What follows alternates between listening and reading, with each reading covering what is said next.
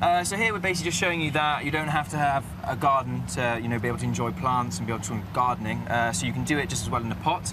Um, and this is a, a more cottagey style um, pot. So we've got the classic terracotta, and in Yep. it we're going to put um, a Stipa tenuissima, the ponytail grass.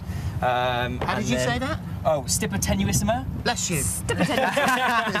Most of them sound about that. Um, and then also this is catmint, uh, Nepeta, and this is really great for bees and also smells really nice as well. So it shows off the kind of cottagey theme as well. So that's gonna.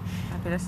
I'll make some room and then Stuff it in. Oh, it's it pretty in quick. Yeah, well, it is quick. Yeah, and this just shows what you can do with a, a smaller pot.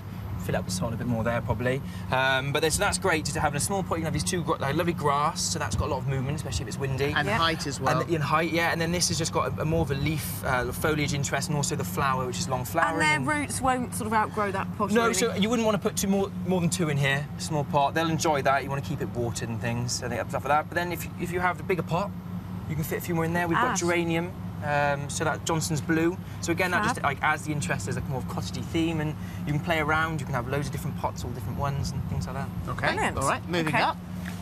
So I did more of a, got a contemporary pot. Uh, you've got the traditional there. This is a little bit more crisp, clean. If you want that kind of uh, that look, then this is a kind of pot that you want to go for. a city pot. It's a bit more of a city pot, yeah, Yeah. I think so. Yeah, you want to be in a farmhouse in Wales, one of these maybe. But, so I've got the same. I've got another Stipa grass here, and what we're going to do, just by putting a couple of these in.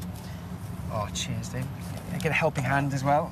Make a bit of a mess. Do Good you guys for to ever wear a fall white out? skirt. No, never. I'm going to ask you that again. Now answer honestly. Do you guys ever fall out? There's obviously disagreements, yes. In in But- planning and planting? Um, not really. Um, we, same we, we're actually very similar. So we're three years apart, but we're kind of more like twins because we've lived together all our life and now Yeah. we're still living with each other. Um, so we think very like. And we share a dog as well, ways. so- Share a dog. And Yes. um, the other question, obviously, that's been coming up a lot is whether you're single.